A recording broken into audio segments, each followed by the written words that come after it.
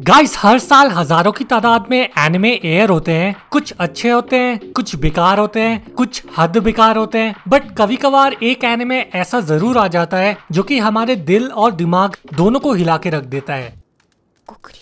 Free and beyond journeys and एक award winning fantasy manga है but एक twist के साथ, जहाँ नॉर्मल फैंटेसी स्टोरी में एक हीरो होता है, एक मेज होती है, एक हीलर होता है एंड एक वॉरियर होता है, जो कि डीमन किंग को हराने के लिए निकलते हैं एंड हमें इनकी जर्नी देखने को मिलती है। बट फ्रीरियन में हीरो पार्टी ने डीमन किंग को ऑलरेडी हरा चुका है एंड एक्चुअल में स्टोरी डीमन किंग को हराने के बाद स्टार्ट होती है। हमारी मेन कैरेक्टर फ्रीरियन एक एल्वन मेज है एंड माइथोलॉजिकली एल्स को उनकी लॉन्ग लाइफ के लिए जाना जाता है वो ऑलरेडी 1000 साल की थी जब उसने डीमन किंग को हराने के लिए हीरो पार्टी ज्वाइन की थी एंड उन्हें 10 साल लगे डीमन किंग को हराने के लिए, जो कि हम ह्यूमंस के लिए तो एक बहुत लंबा सफ़र है बट फ्रीडन के लिए वो बस एक छोटी सी ट्रिप थी। एंड वो इस छोटी सी जर्नी के बाद वो दूसरे एडवेंचर के लिए निकल जाती है। बट जाते हुए फ्रीडन ने बाकी हीरो पार्टी मेंबर्स से प्रॉमिस किया कि वो उस मीटियो शाव को फिर से देखेंगे, जो कि 50 साल बाद है।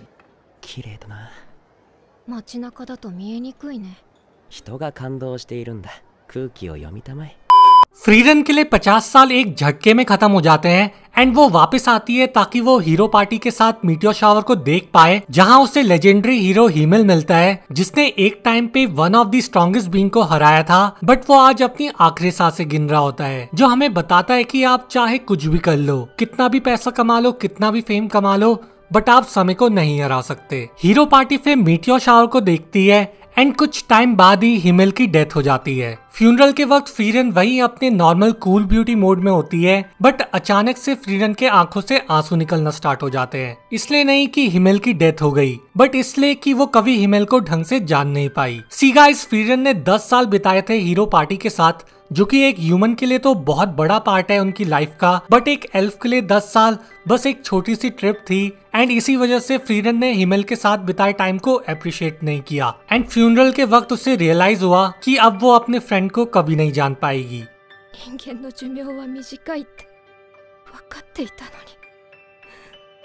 なんでもっと知ろうと思わなかったんだろう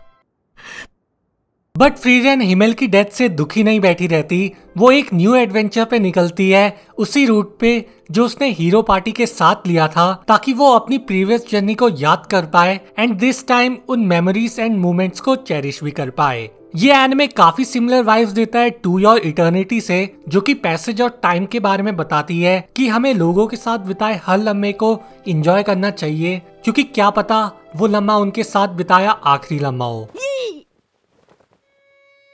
な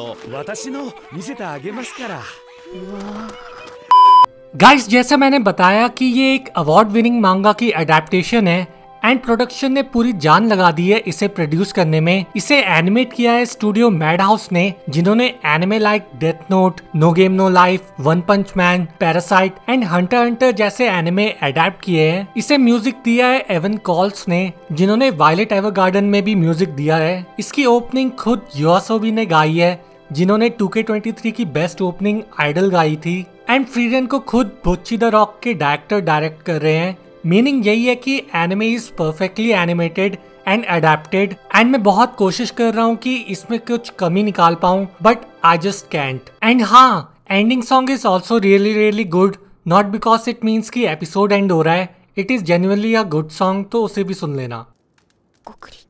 एट दी एंड मैं बस यही कहना चाहूँगा कि फ्रीडन एक थॉट प्रोवोकिंग एनिमे है, जो कि हर एपिसोड आपकी फीलिंग्स के साथ खेलेगा, जो कि हमें बताएगा कि आपकी लाइफ का मीनिंग इससे नहीं है कि आप कितना लंबा जीते हो बट इससे है कि आप अपनी लाइफ कैसे जीते हो। हाँ ये एनिमे थोड़ा स्लो पेस्ड है, जिसमें एक्शन तो है but it's not an action anime जिसमें रोमांस तो है but it's not a romance anime it is something else जो कि अगर आप समझ पाए तो ये एनिमे आपकी लाइफ का पॉइंट ऑफ़ व्यू ही बदल देगा।